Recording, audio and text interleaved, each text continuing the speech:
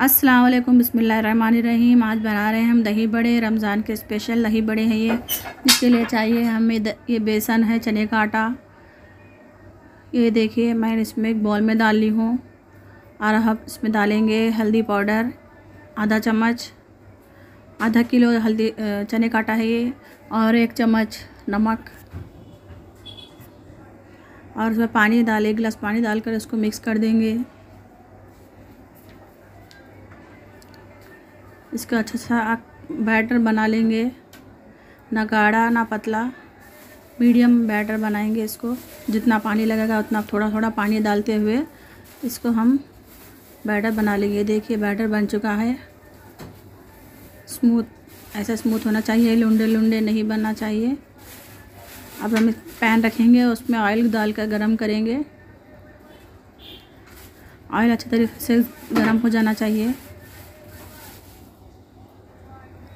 अब ऑयल अच्छी तरीके से गर्म हो चुका है। इसमें हम एक स्पून से इसके बड़े डाल लेंगे।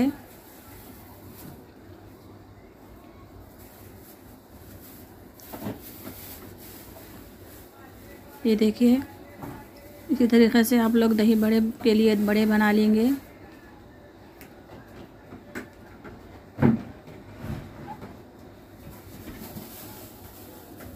अब ये एक एक करके डालते जाएँगे।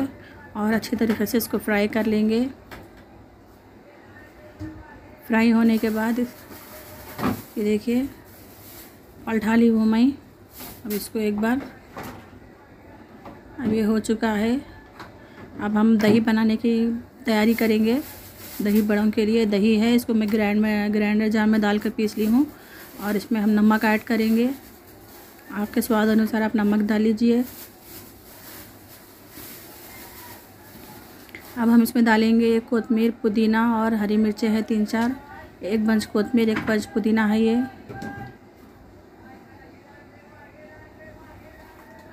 इसको डाल देंगे। इसको मिला लेंगे। अब ये देखिए, हमारे बड़े बन चुके हैं, इसको मैं निकाल लूँगी अब। अच्छे तरीके से लाल हो चुके हैं ये।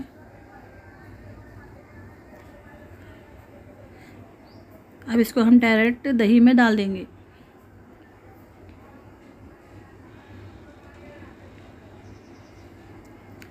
आप लोग भी इसी तरीके से बनाइए, जो बहुत ही लजीज, बहुत मज़ेदार दही बड़े बनेंगे ये।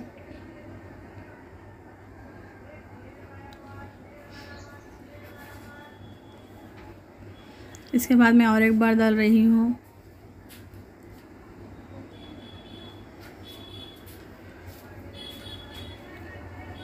आपके हिसाब से आप कितने आदमी हैं? उतने हिसाब से बना कर डाल लीजिए।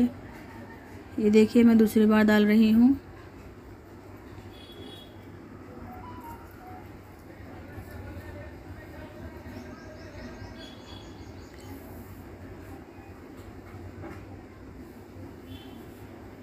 अच्छी तरीके से लाल होने के बाद इसको भी निकाल लेंगे। अब हम इसकी बघार की तैयारी करेंगे दही बड़े की। एक चम्मच तेल डालने के बाद ज़ीरा ऐड करेंगे एक चम्मच। चाय के चम्मच से और राई डालेंगे आधा चम्मच। उसके बाद हम डालेंगे करिया पाक। थोड़ा लाल होने के बाद डालेंगे ज़ीरा राई। अब करिया पाक डालेंगे। फिर साबित लाल मिर्चें डालेंगे।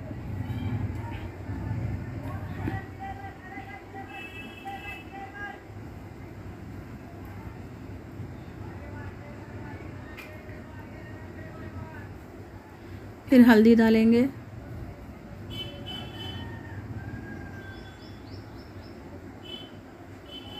मिर्चियाँ लाल हो चुकी हैं। फिर हल्दी डालेंगे। अब हमारे दही बड़े के अंदर इसको डाल देंगे। अब ये देखिए, अच्छी तरीके से हमारा बघार हो चुका है। ये दही बड़ों के अंदर दही डाल दी हूँ और भी अच्छी तरह से भेज चुके हैं। और जो बघार डाली हुई उसको भी ऐड कर देंगे।